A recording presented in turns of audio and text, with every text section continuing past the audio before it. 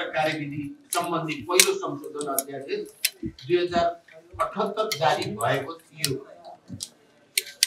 So अध्यादेश सम्मान्य राष्ट्रपतिबाट मिति अठहत्तर चार तिनमा नेपाल सरकार मन्त्री परिषदको सिफारिसमा नेपालको संविधानको धारा एक सय चौवालिसको उपधारा दुईको प्रतिबन्धात्मक वाक्यांशको खण्ड खको बमोजिम खारेज भएको अवस्था छ।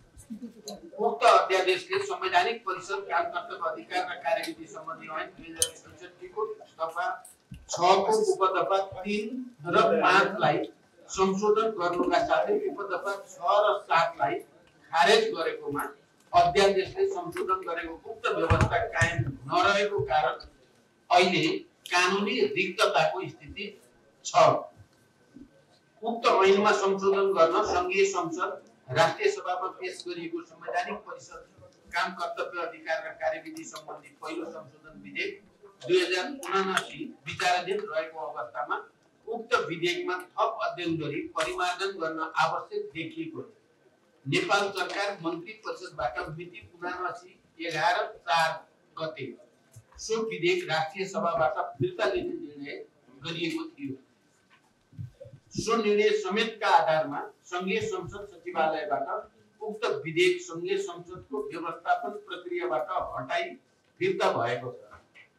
यसरी कानुनी रिक्तताको अवस्था र संविधानको भावना बमोजिम परिषदको बैठक सञ्चालन गर्न संवैधानिक परिषदमा बहाल रहेका सबै सदस्य उपस्थित हुनुपर्ने र सर्वसम्मतिबाट निर्णय गर्ने परिपाटी विकास गर्न तथा सर्वसम्मति कायम हुन नसकेमा अध्यक्ष र तत्काल बहाल रहेका कम्तीमा पचास प्रतिशत सदस्यको बहुमतबाट निर्णय गर्ने व्यवस्था गरी संवैधानिक परिषदको बैठक सम्बन्धी कार्यविधिगत व्यवस्था गर्नुपर्ने आवश्यकता देखिएको छ। तसर्थ संवैधानिक परिषदको बैठक सम्बन्धी कार्यविधिमा संशोधन गरी संवैधानिक परिषद काम कर्तव्य अधिकार र कार्यविधि सम्बन्धी ऐन दुई हजार छैसठीलाई संशोधन गर्न आवश्यक देखिएकोले सो सम्बन्धमा पहिलो संशोधन विधेयक सङ्घीय संसदमा पेश गर्नु परेको हो। मैले उद्देश्य र कारण यसको बारेमा यो सम्मानित समिति समक्ष प्रस्तुत गरे। कतिले अब यो विद्युत व्यापारसँग सम्बन्धी हिजो जो हस्ताक्षर भएको छ त्यो नेपालको राष्ट्रिय हितमा नै छ भन्ने कुरा हामी सबैले महसुस गरेका छौँ र मान्यजीले जे राख्नुभयो नि यो निर्माण गर्दा भारतले मात्रै गर्ने हो कि भन्ने कुरा त्यस्तो होइन यस्तो कुनै प्रावधान छैन पनि। र सरकार यो विषयमा गम्भीर छ संवेदनशील छ।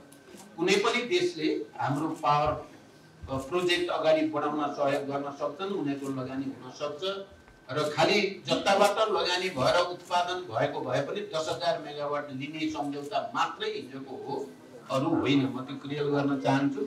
अर्को यो चिनिया आउने बारे चिनको प्रतिनिधि मण्डल आउने बारे भारतीय विदेश मन्त्रीले मसँग कुरा गरे भन्ने कुरा बिल्कुल सत्य होइन। एक शब्द पनि उहाँले मलाई त्यो उच्चारण गर्नु पनि भएन। मैले त्यसको बारे जवाब दिनु पनि परेन। चाहिँ हुन त मेरो एकछिन अनौपचारिक वान टू वानमा पनि कुरा भएको थियो। त्यहाँ पनि उहाँले चिनिया प्रतिनिधि मण्डल आउने बारे कुनै प्रश्न या चासो या त्यस्तो केही राख्नु पनि भएन।